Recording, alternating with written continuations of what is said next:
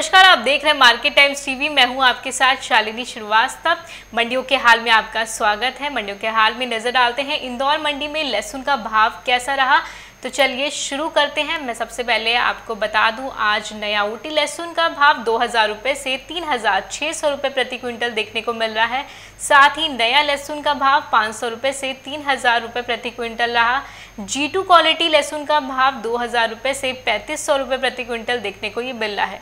देसी लहसुन बढ़िया फूल गोला का भाव पच्चीस सौ रुपये से तीन हज़ार रुपये प्रति क्विंटल रहा।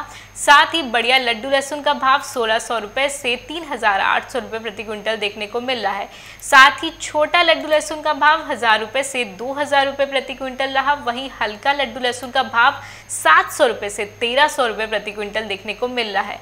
मीडियम लहसुन का भाव आज बारह सौ रुपये से बारह सौ रुपये प्रति क्विंटल रहा। साथ ही हल्का लहसुन का भाव आज तीन सौ रुपये से सात सौ रुपये प्रति क्विंटल देखने को ये मिल रहा है।